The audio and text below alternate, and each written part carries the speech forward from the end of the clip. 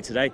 And uh, yeah, it's going to be very, very tough. They're not going to have to go too quick. And good horses have won the Welsh National in the past, the likes of Corbiere and Burrough Hill Lad and Car- Master Carver's Oaks. Hill. Carvill's Hill. Yeah. Oh, he was sensational. Don't know whether we got one quite that good in the field today, but it's a very competitive lineup. And here are some of the big names that are going for it.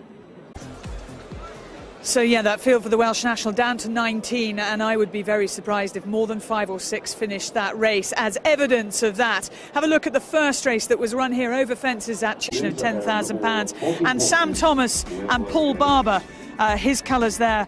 That Sam carried to Gold Cup victory on Denman. They've given to the Welsh Guards Afghanistan appeal to be auctioned, and that should raise a fair few grand. It should, Claire. Hopefully, it'll go. Laugh him though, riding that finish on that on that uh, on the video Yeah, game. stylish. I've ever, most stylish I've ever seen him. He might have to be doing that later on Kilbeggan Blade in the Welsh National, mightn't he? It's a long way out, I should think, as well. Yeah. Getting fit for him. But great to have the Welsh Guards here today, and I know they'll get a tremendous reception from the from the crowd. And, and should, yes, certainly. The other point to make is is when you suddenly meet them, you do realise that, that I know jockeys have a tough life, but it is nothing it compared puts- to. Well, we have just heard that the Grand National winner Mon Mome is a non-runner in the Welsh National. Venetia Williams probably looking at that ground thinking, don't want to risk him on that. Mon Mome is out. Irish de Balm was a non-runner earlier today, so the field for the Welsh National is now down to 18, but it still is a race with tremendous excitement. Lots in there with a chance of winning the Coral Welsh National. And Ollie travelled all the way down from Scotland with silver by nature.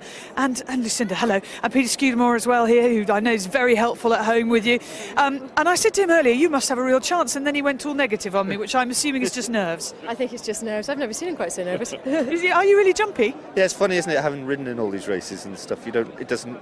Being a jockey, you don't appreciate the build-up to it and stuff because I've either been riding or sat on the BBC before doing it. So yeah, no, I am nervous. Yeah, I think I think that the horse can run well if, if all goes right. So fingers crossed. So uh, we'll see.